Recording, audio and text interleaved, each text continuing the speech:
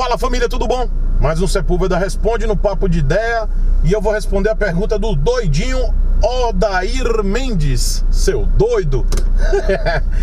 Fala Chico, seu doido da cabeça. Opa, canal errado. Chico, seguinte, tenho um HB20, adoro meu carro, sensacional, seguro, econômico, confiável, enfim, melhor, melhor carro que eu já tive. É com muito pesar que estou me desfazendo dele agora em janeiro de 2019 pois apareceu uma proposta em trocar um terreno. Obviamente optei pelo terreno mesmo. Optei pelo terreno mesmo, adorando o carro. Como vou construir, a minha primeira opção para não ficar a pé foi a moto. Já tive uma Fan 150 2015 e sinto muita falta de andar em moto. De moto, sensação de liberdade é incrível.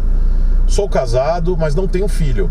E usaria a moto para o dia a dia, ir ao trabalho, buscar a patroa no trabalho, ir ao mercado, etc.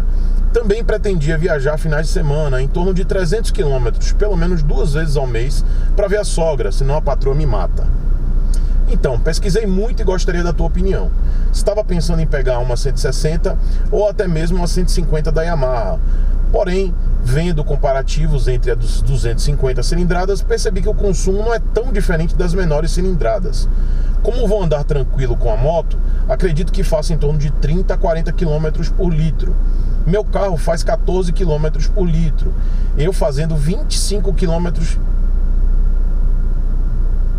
ah, tá. Ele diz aqui que o carro faz 14 km por litro e ele fazendo 25 km por litro em uma moto, já estou bem satisfeito. Ele diz aqui que fica bem satisfeito em fazer 25 numa moto. Não pretendia financiar, ou se financiar, dá uma excelente entrada para quitar a moto no máximo em um ano. Gostei muito da nova Phaser 250 por ter farol em LED. Como vou viajar muitas vezes, irei voltar à noite e o farol dela vai iluminar bem e passar mais segurança que uma Twister, por exemplo. Obviamente elas são mais caras que uma CG ou Factor, como pretendo dar uma entrada legal, pretendo ficar a pé para juntar a grana e estimo que no máximo até maio já consiga comprar uma 150, 160. Já 250 provavelmente até novembro eu consigo comprar à vista ou dar uma entrada bacana. Sem mais delongas, qual a tua opinião? Compensa pegar mais uma 150, 160 em maio? Que irá me atender bem ou esperar e pegar uma 250 por ter consumo parecido e ser melhor em viagens. Quanto à manutenção da 250, acredito que consigo manter sem problemas e fazer todas as revisões. Valeu, amigo, forte abraço, sucesso no canal. O doidinho Odair Mendes. Brincadeira, Odair, um beijão para você. Valeu. Vamos nessa, toca.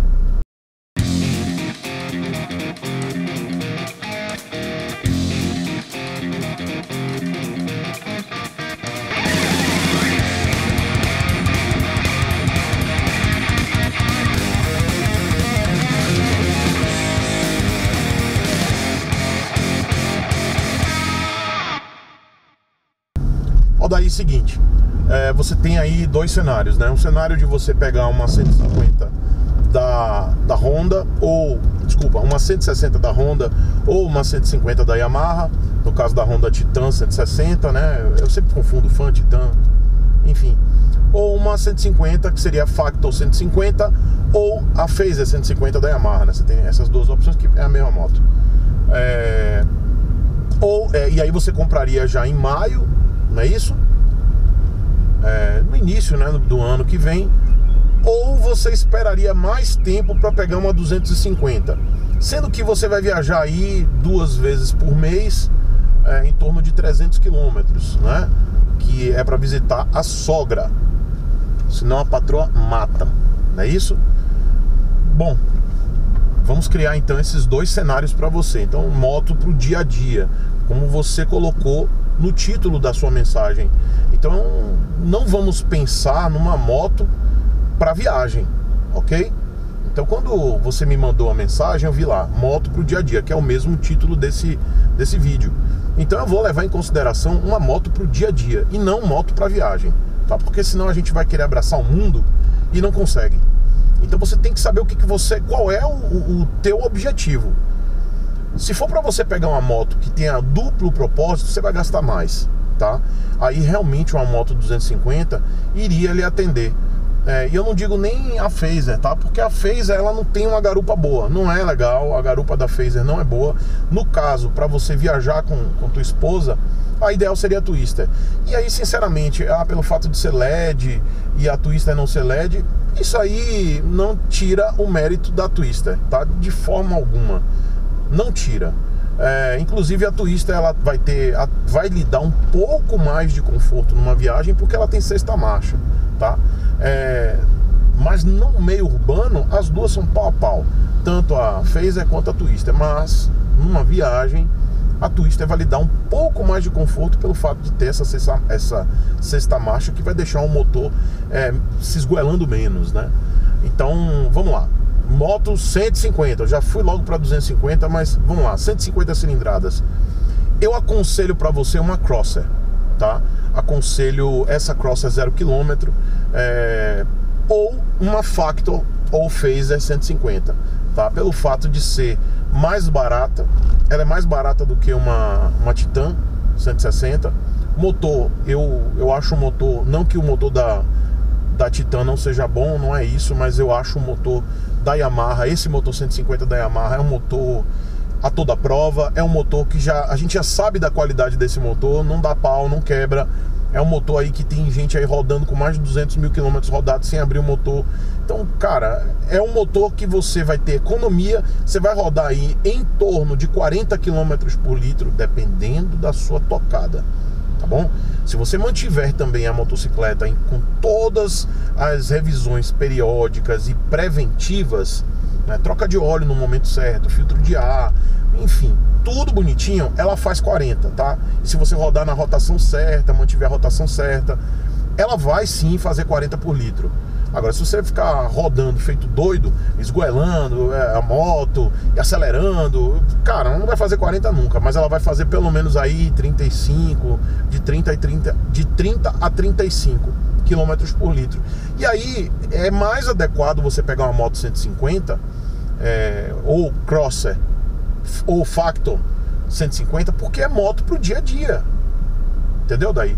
Então, moto pro dia a dia é aquela moto mais em conta, é a moto mais barata, é a moto que vai lhe atender melhor, tá? Até porque você vai ter aí, você pelo que eu vejo sua sua receita, sua receita não, seu orçamento tá apertado e você quer se livrar logo dessa dívida. Então eu aconselho você pegar uma Crosser. Até porque a Crosser é mais alta, você não disse sua altura. Mas a Crosser é uma moto que ela vai se adequar melhor ao terreno, é, a qualquer tipo de terreno, né?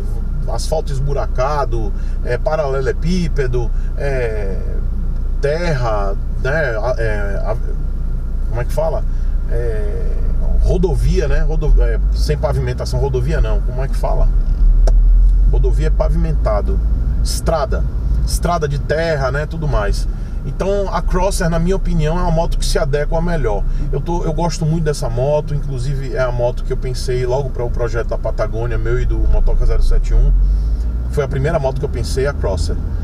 É, mas se você não gostar da Crosser ou achar melhor uma moto street, então Factor ou Phaser 150 é a minha opinião, entendeu? É uma moto que eu acho que o motor é um motor consagrado. É um motor que não vai lhe dar dor de cabeça, não vai lhe dar problema.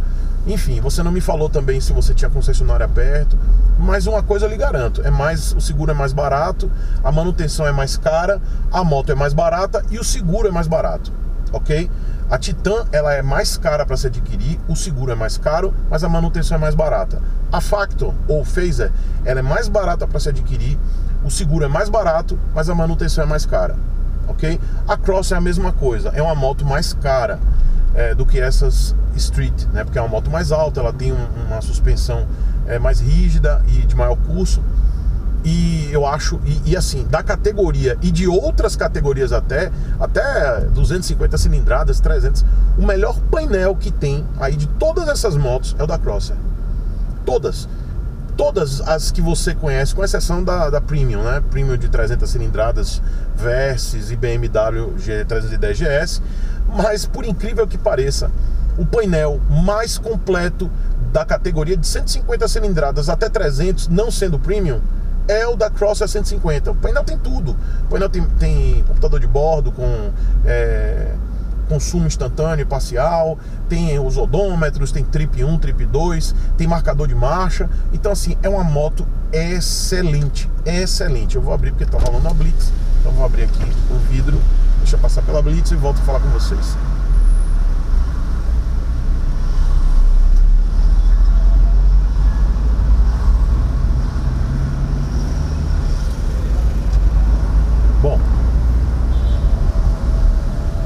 Minha opinião, a Crosser seria mais interessante. O problema da Crosser é o valor dela. Você acha em torno de 13 na Yamaha, eu acho que o valor sugerido dela é 11.990, sei lá, 12. Mas quando vai para concessionária, com tudo mais, o frete, ela vai para 13, 14 mil, quase 14 mil. É, é, bem salgado, mas é uma moto muito boa, muito boa. Moto que eu estou indicando aí para muita gente, é a moto que eu gosto. Bom, agora vamos para a parte de 200. Ah, tá. Mas se você pegar uma Crosser, já me disseram que o farol dela, alguns inscritos relatando, o farol dela não é muito bom, ela não ilumina tão bem, mas é, foi a opinião de pelo menos dois inscritos que falaram, eles falaram que não ilumina tão bem.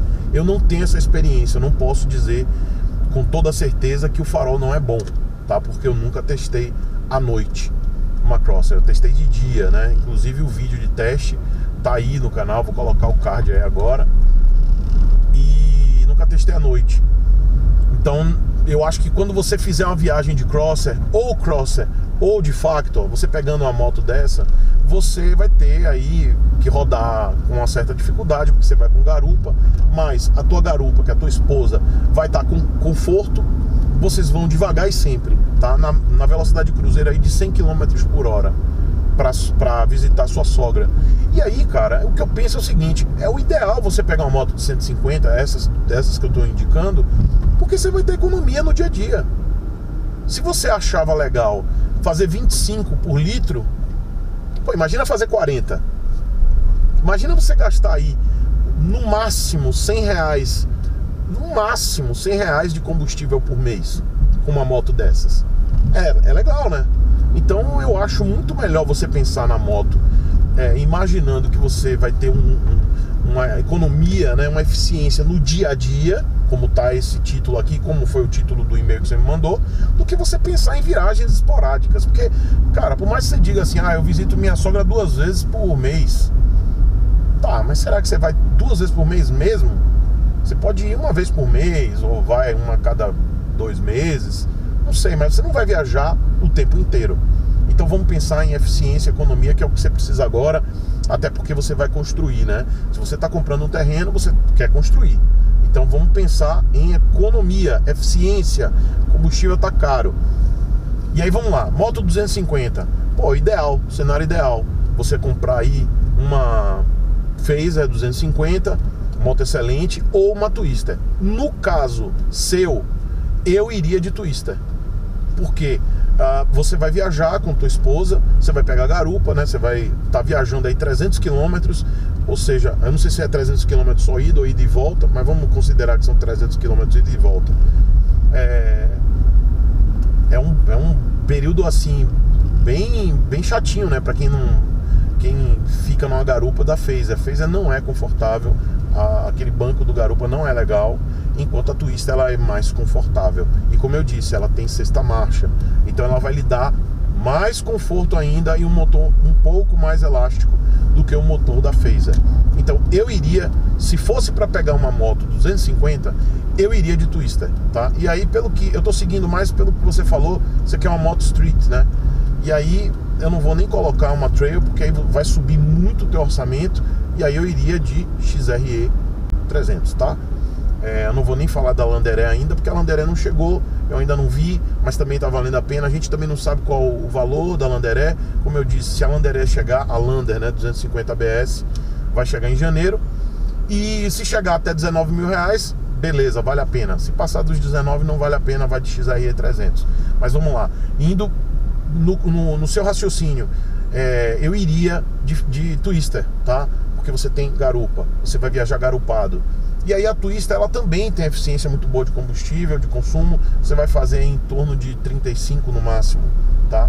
No máximo 35 é, por litro que é muito bom, né? Enquanto a Crosser ou a Factor você vai de 40 e já li relatos de inscritos que fizeram 45 km por litro. 45, é aquela tocada de 60 por hora dentro da, da cidade, da via urbana, 60 por hora, tá? E esse cara é muito doido, vocês não estão vendo, mas é uma pessoa que está aqui zanzando na pista. Que massa, legal. É, Teve até um inscrito meu que me perguntou, eu vou fazer até uma matéria, por que, que eu não uso buzina. Várias explicações aqui, mas principalmente a direção defensiva. Eu não preciso ficar usando buzina. Se eu estou atento a tudo e eu estou prestando atenção a tudo, eu não preciso usar a buzina. A buzina só, só deve ser utilizada quando realmente você quer chamar a atenção de alguém, por algum motivo. O carro está vindo para sua direção, né? Alguém está jogando o carro, ou então um, uma pessoa esquece de pisar no freio e o carro vai descendo, né? Para não esbarrar em você, você buzina, ou para chamar a atenção de algum pedestre. Mas simplesmente ficar buzinando, como muita gente faz gratuitamente, eu não faço isso. É, não é a forma certa de você é, dirigir, né? Ou dirigir, pilotar moto, dirigir carro, eu, eu, eu raramente uso buzina. Mas vamos lá, vou fazer um vídeo sobre isso. Então, daí, é, para resumir, moto para dia a dia, é, para quem quer economia, eu iria de Factor 150 ou Crosser 150. Tá? É, nesse caso aí, no, no, caso que você me perguntou, dessas duas motos, né, 150, c, desculpa, 150 ou 160, eu iria de Factor 150, que também pode ser a Phaser 150, que é, é a mesma moto, né, a mesma, só muda alguns detalhezinhos, mas a mecânica é a mesma, ou Crosser 150. Você vai ter muito mais economia, você vai poder guardar dinheiro, vai sobrar dinheiro para você poder fazer a tua construção, já que você vai se desfazer do teu é, HB20, que você gosta tanto, mas por um bom motivo, né, que você vai trocar por um terreno. Então eu acho que vale a pena aí você economizar mais ainda. E aí, pelo que você me falou, você conseguiria pegar a moto mais cedo, né? Você conseguiria pegar aí pelo menos no primeiro trimestre, é, um pouco mais, né, de 2019. Então faz isso, cara. Pega uma Phaser de 150 ou Crosser 150. Não vai de 250 não, cara. Vai, vai pensando exatamente como você me mandou no título do e-mail e como está o título desse vídeo. Moto pro dia a dia. E aí, se você quiser economizar mais ainda, então eu vou te dar mais uma dica. Mais uma, ok? e que muitos fazem isso para ter uma economia ainda maior e mais praticidade. Por que, que você não vai de scooter, cara? Por que, que você não pega uma scooter? Pelo valor de uma de uma Crosser, você pega uma N-Max, uma moto de 150 cilindradas, uma moto extremamente econômica, vai fazer mais do que uma, uma moto manual, né? O consumo de eu não tenho certeza se o consumo de ON Max chega a 45 ou mais. Sinceramente, eu não, não tenho. Por favor, meus inscritos, coloca aqui. Por favor, coloquem aqui no, nos comentários qual a média de consumo de uma Max rodando no estilo Tio Chico, tá? Dentro da cidade, meio urbano, uso severo. O que é uso severo? Trânsito, congestionamento, tá? E qual é o consumo de uma PCX, tá? Para o Odaí ele ter uma noção para ele ficar é, sabendo aí qual é o mais ou menos o consumo. Então, daí eu iria de, de também eu pensaria em numa scooter, porque você vai ter aí uma praticidade, mas só que o porém é a viagem, né? Você não vai poder viajar. Scooter, viajar de scooter é sofrível, mas tem o Rafael Cantarelli aí do Papo de Scooter que viaja de scooter e com garupa, tá? E viaja de PCX. Então, eu iria da, eu, se eu fosse você, eu pesquisaria uma PCX e uma NMAX. É, no caso, eu prefiro, eu particularmente prefiro uma PCX. A NMAX acaba sendo tendo uma relação é, mais longa, né? É, como é que eu posso dizer? Ela desenvolve mais, afinal, tá? A, a PCX ela é mais presa, né? Se você colocar em uma rodovia, a PCX ela acaba ficando mais amarrada, enquanto a NMAX ela desenvolve melhor, até porque ela é 160, não é 150. Então, vê essa possibilidade também de você adquirir uma scooter. Então, fica entre a PCX que é mais econômica do que a Animax, com certeza, porque ela tem sistema de start-stop, então ela desliga quando você para por um, um, período, né? Se você ficar um tempo parado, por exemplo, no semáforo, ela desliga. E quando você acelera, ela liga novamente e vai. Então é muito, muito mais econômica do que a Animax, mas a Animax tem a vantagem de ser mais confortável do que a PCX. E cara, essas motos 2019, as versões estão lindas, estão. É, inclusive a PCX está full LED, tá show de bola, tá com ABS, tem, tem muita coisa legal aí nesse meio aí de scooters. Então dá uma olhadinha, faz uma pesquisa, vai lá no, na Honda, vai na Yamaha, dá uma olhadinha na scooter, vê se você não se adequa. E quem sabe até você faz uma viagem com tua esposa de scooter, né? Devagar e sempre, mas é uma possibilidade, principalmente no quesito moto para o dia a dia. Moto mais em conta, moto mais barata, moto que vai lhe dar mais é, economia no teu orçamento e que você vai precisar dessa economia visto que você vai construir, tá bom? Mas é, como eu sempre finalizo os meus vídeos, eu quero deixar aqui que os meus inscritos coloquem a opinião deles para você, tá? Então, galera, esse assunto é bem rico, né? Porque é, é, são motos para o dia a dia. Então deixa aí a sugestão de vocês. Daí leia, se possível, todos os comentários, porque aqui a galera se ajuda muito. Então deixa aí, pessoal, comentário para Daí dando a sua sugestão de moto para o dia a dia. Lembrando que ele esporadicamente aí duas vezes por mês ele vai fazer uma viagem de 300 quilômetros com a esposa dele para visitar a sogra. Tá bom?